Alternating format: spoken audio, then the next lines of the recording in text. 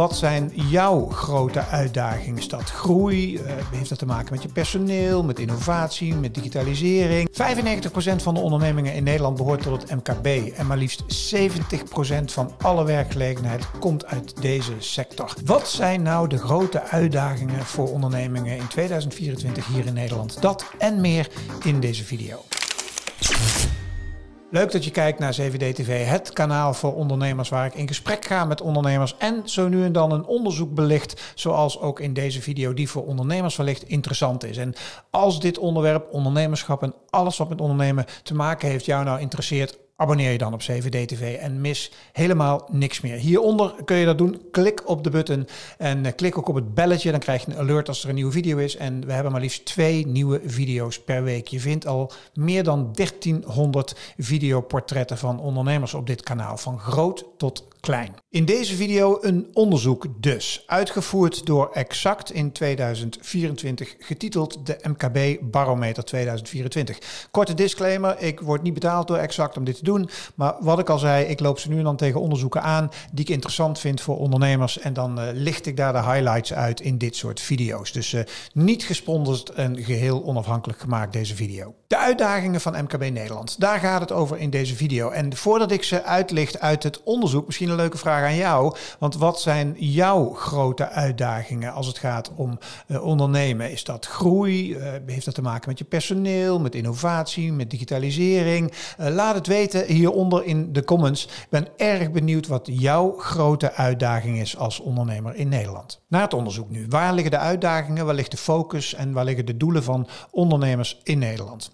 Nou ja, laten we beginnen met uh, de economie. Die gaat niet zo best, vertoont een krimp sinds 2023 en dat zien we terug in het onderzoek. Want het allerbelangrijkste bedrijfsdoel over de alle ondernemers die onderzocht zijn, zijn er zo'n kleine duizend overigens in dit onderzoek, en dat is het verhogen van de omzet op de eerste plek van uitdagingen met 32% Andere doelen die over alle sectoren heen hoog scoren is het vinden en behouden van personeel, regelgeving en digitalisering. Daarover zo meer. Een volgende aspect is het vinden en behouden van personeel, zoals ik al zei. En dat is echt een probleem bij ondernemend Nederland, bij MKB Nederland. Zo zien we in dit onderzoek.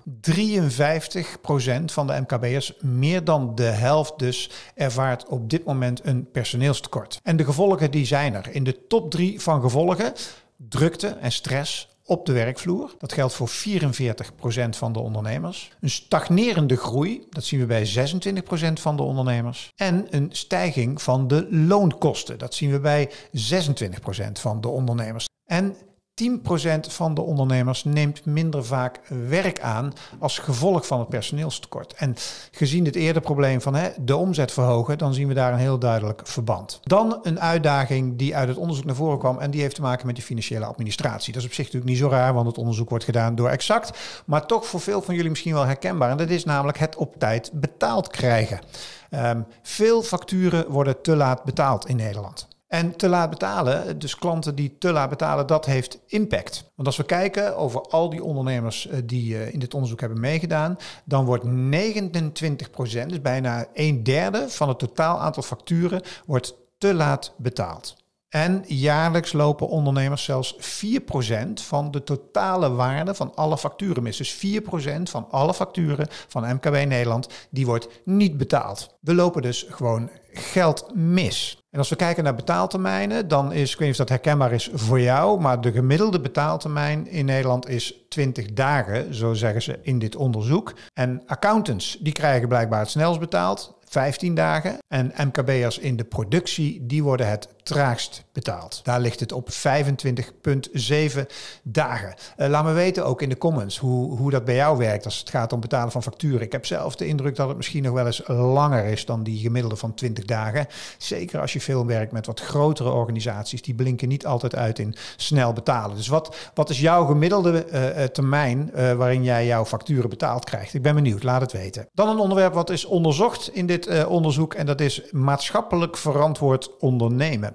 En dat leeft niet zo bij MKB Nederland, zo blijkt uit dit onderzoek. Ik weet niet hoe het bij jou zit, maar bij slechts 15% van MKB Nederland behoort dit tot een belangrijke doelstelling. Feit is overigens wel dat ook MKB'ers zullen moeten gaan rapporteren over hun impact op mens en milieu. Het wordt steeds meer verplicht. Uh, en sowieso wordt het ook verplicht als jij met grotere opdrachtgevers werkt, die al moeten rapporteren. En die zullen het ook aan hun leveranciers vragen. Dus ik denk dat het hele thema uh, maatschappelijk verantwoord ondernemen en het rapporteren daarover, uh, dat dat zo langzamerhand een plekje verdient op de agenda. Dus dat is mijn tip in ieder geval. Kijk er eens naar, want het wordt uiteindelijk verplicht. En dan hebben we nog een aspect wat in dit onderzoek naar voren uh, komt. En dat is het hele thema digitalisering. Bij ruim driekwart, zo'n 76% van de MKB-ondernemers in Nederland, staat dit onderwerp absoluut op de agenda. En dat niet alleen, staat niet alleen op de agenda, men heeft ook budget gereserveerd daarvoor. En uiteraard is ook gevraagd naar de rol van AI in dit stuk. En ook dat leeft zeker bij MKB Nederland. Slechts